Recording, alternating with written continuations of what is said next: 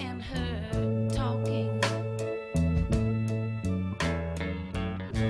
Right now I can see, you know, your face is very blur like they're very blurry. That's sort of where your eyes are, sort of like shadowy dots kind of thing. I can't see your mouths or the way they're moving. I can see the lights that are around here. I can see the outlines of the trees, but nothing in detail. I couldn't see the branches, couldn't tell you the colours of the trees or anything like that. I can tell that's grass, but that's mainly just because, you know, I'm spatially aware of where I am in the park.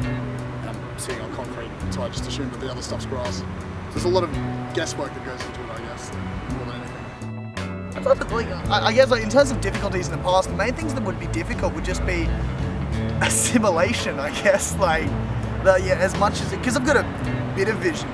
Like, the, the the hardest part is living in a dichotomy where you sort of got, or your full-sighted friends, or doing the you know full-sighted fun activities and stuff like that, and then you know you're living in this world, the Uh, the, the visually impaired world, where you kind of you know you, you're struggling with those things. Like I wasn't allowed on roller coasters till I was about 12 or 14.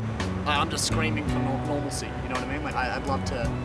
Like I, I get very paranoid in sort of situations that like you know I'm being talked down to or you know treated very differently compared to other people. People accommodate me. I don't really like being accommodated, but at the same time, I need to be accommodated for.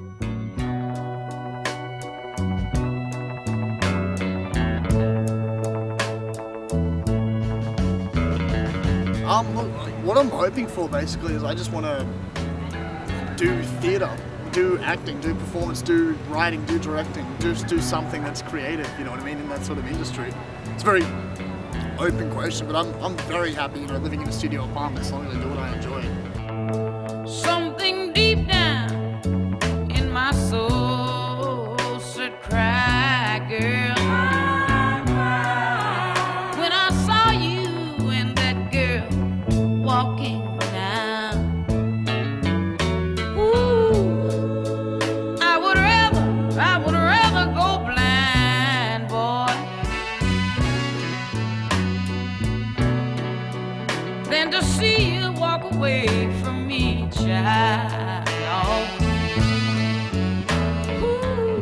Like to be honest, like like any actor would say, the hardest part of you know acting is the auditions, but that's especially for me. Like if I've got a prepared reading, that's fine.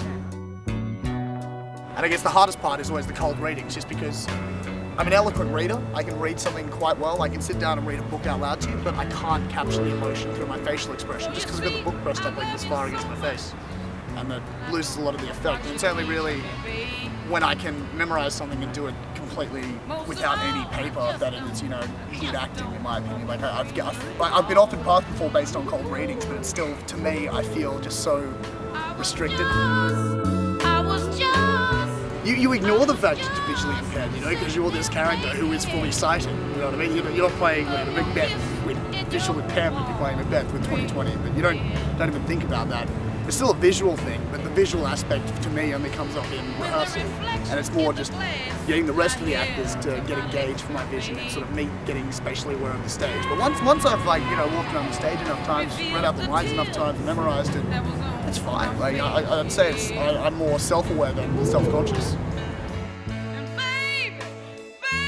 okay, we're, we're fairly close. We're both neurotic freaks, and we always talk about this, and so it feels like we're always manipulating people, no matter what we're doing. Oh, in terms of using myself for my advantage, well, get a lot of money off the government. that's, that's one thing.